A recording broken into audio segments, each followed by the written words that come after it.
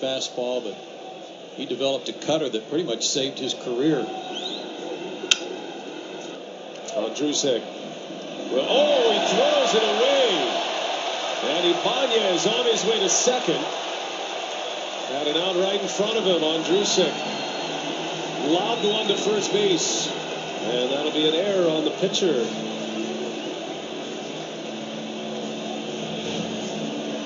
See the angst on the face of Dusty Baker here because this gets an inning started for the Phillies. It shouldn't have. And just was airmailed over the head of Joey Votto. Boy, that wasn't even close.